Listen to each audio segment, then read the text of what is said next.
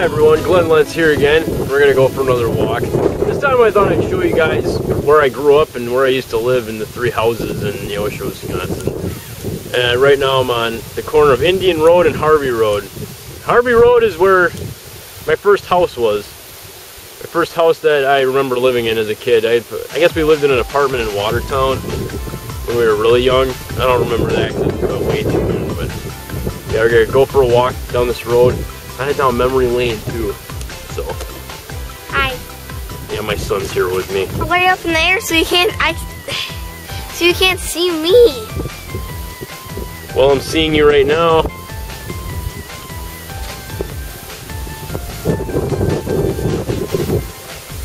I have an interesting story about about this road, about Indian Road, which I'll get to later. But that brings back memories too. It's been so long out here. I always loved like these little like like pond type things on the side of the road. I'm trying to find frogs right now. I don't know how many frogs you're gonna find, but probably all hidden. See him with their heads. They're probably all hidden away in that green shit.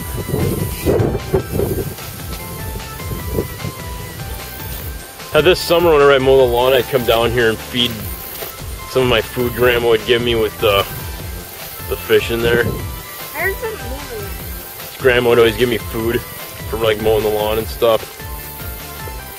For a few bucks for mowing the lawn, I'd just come down here and feed some of it to the to the fish. And my turtle that lives in there, one of my my, my other turtle we used to have back in Hartford. I let him go in there. What if you found him again in there? I don't think I'm gonna find him. No, I hope not. There's a tin can in there.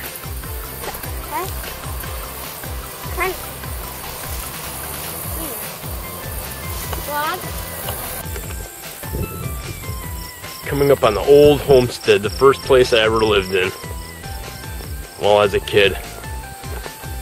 Very covered up by trees. My family always loved places that were covered in trees. Can't say that I blame them, I always loved it too. It was fun to play out in out in a woodsy type area. Even as an adult, I'm still doing shit like that by filming out in woods and stuff.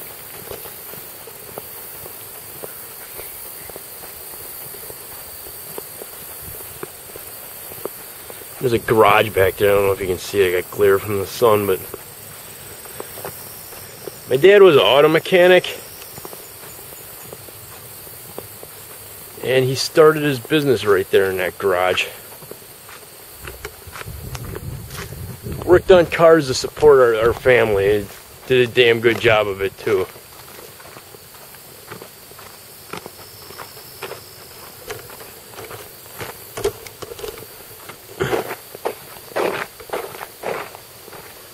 so many memories at this place.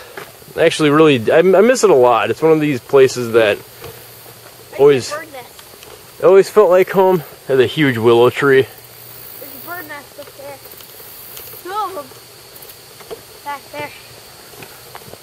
Even to this day, I still miss this place. I still kind of remember playing in the yard and stuff. They did a lot of work to it over the years. You know, made a lot of changes. There used to be a huge window on that side of the house that I used to look out at night. I used to pretend it was like uh, the Starship Enterprise and stuff. There's a big tree in the yard I used to play by too. That one right there. Actually crashed my bike into it once. This triangle right here, where I used to sit and wait for the bus in the morning.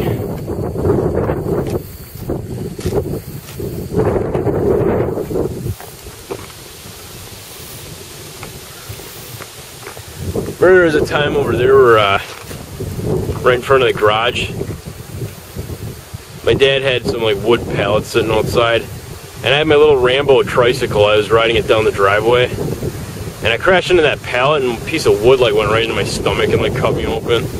I didn't. It wasn't like bad. I didn't need surgery, but I was like traumatized from it.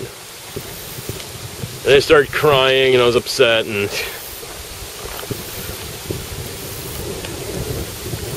Is that a Rambo bike? I had a Rambo tricycle because Rambo was huge back then. I can't really make out the the borderline to this place, but there's a farm over here. And the cows used to come up to the fence line over here by these pine trees. And Grandpa Allen used to take me and hold me and go look at the cows. And I remember each cow had like a tag on its ear. When I was a kid, for some reason, I thought those cows were for sale. And I told Grandpa Allen, like, oh, this one's like a hundred bucks or something like that. And he just kind of laughed about it.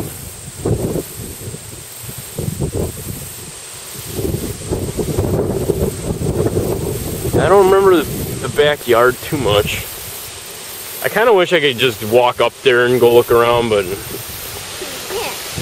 someone else owns the property now, so yeah. You keep going down this road, that's where the third house I ever lived in is, and it's way covered in trees and stuff, so I don't know if we'll be able to see it, but I do have pictures, so.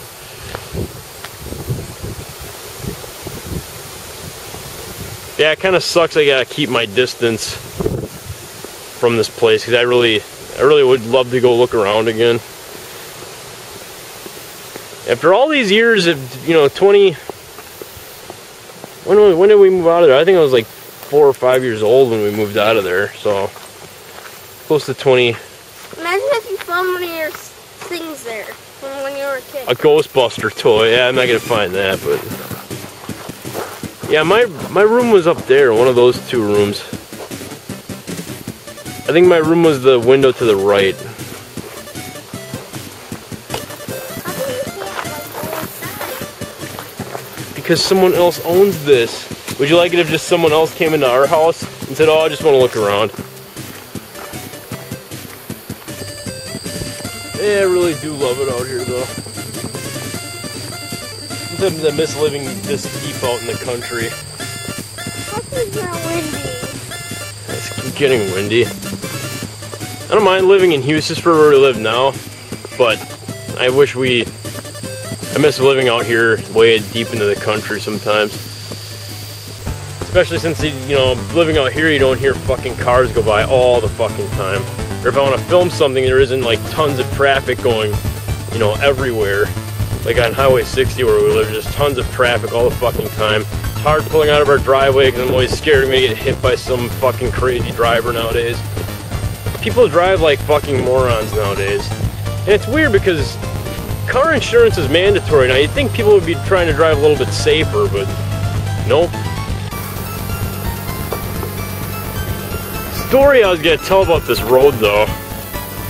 It was always funny. Once we moved to the third house that we lived in here on Harvey Road, I used to come down here when I first started learning how to play guitar.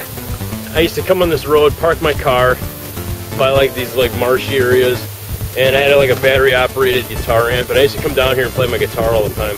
And that's uh, part of how I met one of my oldest and best friends, Sarah Kutsky. She lived down this road. If you kept going down that road, her house was eventually down that way. And she had like this old, really, really, really old car sitting in the driveway. I don't know if she's still, her dad still got it up there now, but. So yeah. so Sarah, if you're watching this, hi. Good times. I, I, I still love you. You're awesome. Still glad that we talked once in a great while. But yeah, I just thought I'd throw it in there because that's one of the memories I kind of hang on to. Was a fun time in my life being young and learning how to play guitar and meeting people and all that stuff. So we're gonna go look at the second house I lived in now. So let's go. Right now we're gonna go look at the second house that I ever lived in. So let's go up Highway MM. We're gonna go back to Highway 67.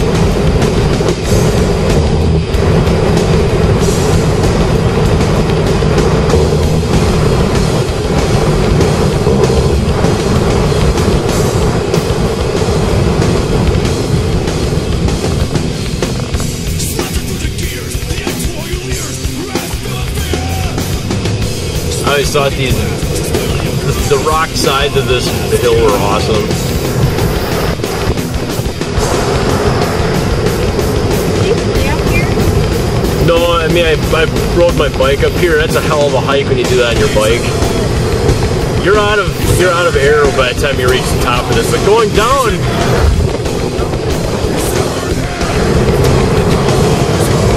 this used to be like a bus route too for when I used to go to high school. So the bus used to take me this way. The high school and the Neosho school, I think. Or now it's Honor Elementary. It's where you go.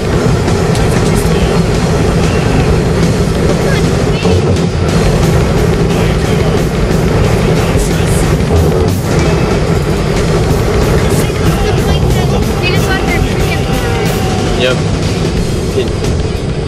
Take MM and it turns into 67.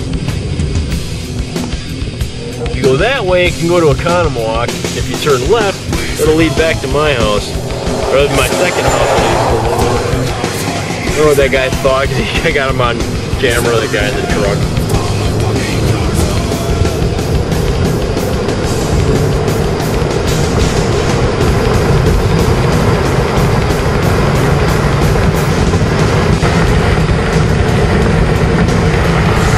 To ride my bike down that road too.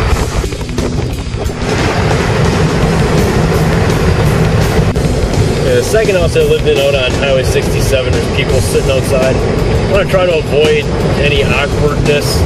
You know, it's going to be awkward, a guy in a flaming Taurus going past the house and filming it. But I turned around, and now I'll show you the second house I used to live in.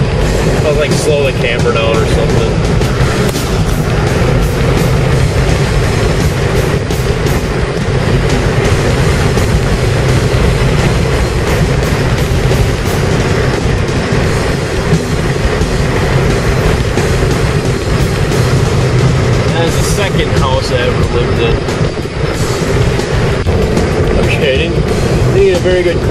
The second house I ever lived in there's people outside, which kind of sucks.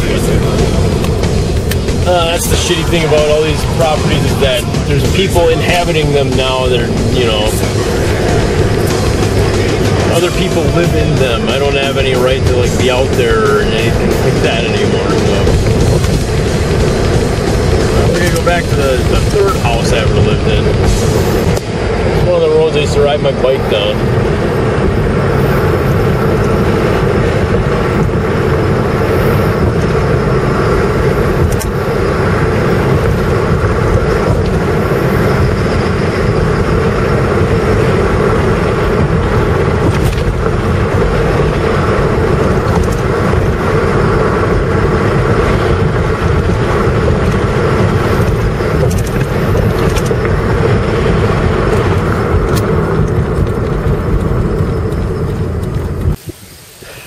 And to go see the third house I ever lived in. So this was after uh, my parents had the house on Highway 67 for a while, and then they decided that it wasn't good enough. My, I don't really know the whole story. My mom or someone wanted a new house, and they, they went with Steenberg Homes to go look at a new home. So they, this was a vacant piece of property up, up here. It's all obstructed with trees and stuff now, but there's this huge long driveway I used to walk up and down uh, when I was, you know, waiting for the bus. I get on the other side of the road, there's a truck coming with a camper. Um, Yeah, it was a vacant lot. There wasn't anything up there. My dad bought the home from Steenberg Homes and had it put up there. I, I remember it being like really, really long and strenuous, and uh, dad getting pissed off a lot during that time period. And uh, but it, I think it all went okay. Dad later put a shed up there so he could continue his car, uh, his car repair business. See, if you look up there, it's all obstructed by trees now. Pine trees and these like tall trees right here. I remember playing up there. Yep, my grandpa well, used to live up there up until what about five years ago, maybe four. Yeah, you used to be able to see the house, now you can't see anything.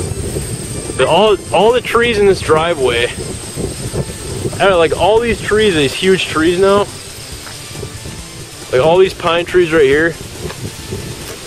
Me and the uh, Aunt Jess and Grandma Kathy, all of us planted these. That's when I was like 12 or 13. So we each dug holes and planted all these trees in there.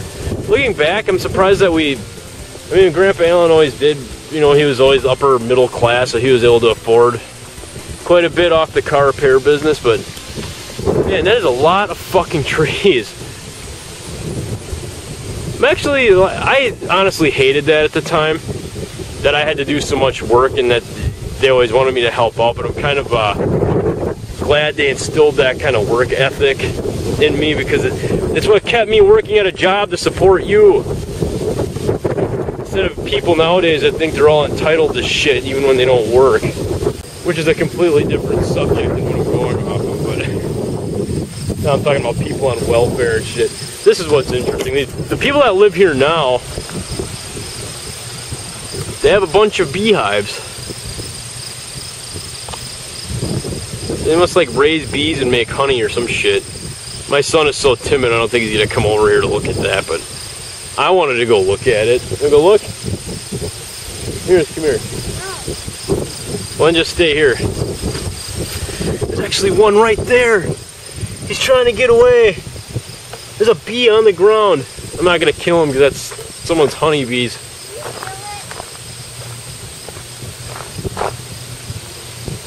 That's so cool. They got bees. No, he's like pretty much dead. I was thinking about driving up there and then filming it and then turning around right away and then leaving. Just so you can see the house. But I do have pictures of the house too and what it used to look like way back when I used to live in it, so. Harvey Road. I really do love, like, I do love the countryside. It was really awesome living out here. If you keep going down that road, my grandma's house is down that road. the, guy who owns the place now is outside mowing the lawn, so it was kind of an awkward thing. But I told him I used to live here, and he was really cool about everything. But yeah, I don't think I'll be going into people's driveways anymore. but anyway, that I'll show you pictures of it anyway. It looks the house looks totally different now. They just totally redesigned it, but spent a lot of years in that house too. Got good memories of that house. So play all my old video games there. Play my Power Ranger Ghostbuster toys. We keep going down this road. Yep.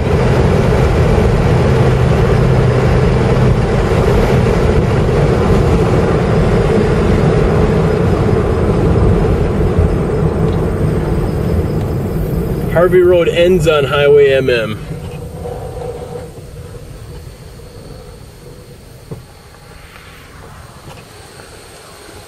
Go to the left, my grandma's house is right in there. And I'm going to be filming more stuff there too for my uh, YouTube series that I'm doing. You do have to film Mario and Luigi? Oh, Connor, Jesus. Yeah, there's my grandma's house. So my family has pretty much lived in this the Neosho area for quite some time. Much my whole life, actually. But I, I love living out here. Uh, like I said, I don't mind living in Hustisford, but I, I kind of miss living way out in the middle of nowhere where you got more privacy and the solace of being out in the middle of nowhere, I should say. Well, thanks for watching. I hope you all enjoyed looking at where I grew up. I didn't get a good glimpse of the second or third house that I lived in, just mainly the first one. But it doesn't matter anyway. Each house was really awesome. I loved living out here in the country. And it gave you a kind of a glimpse of what kind of person I am and where I where I grew up and originated from. I might be a nerdy metalhead type guy, but still kind of a country boy type person at heart because I love being out here and I love the fishing and I love target practicing and stuff. So, I love fishing. yeah, I'm Glen Lentz. Go watch one of my other videos. I'll see you next time.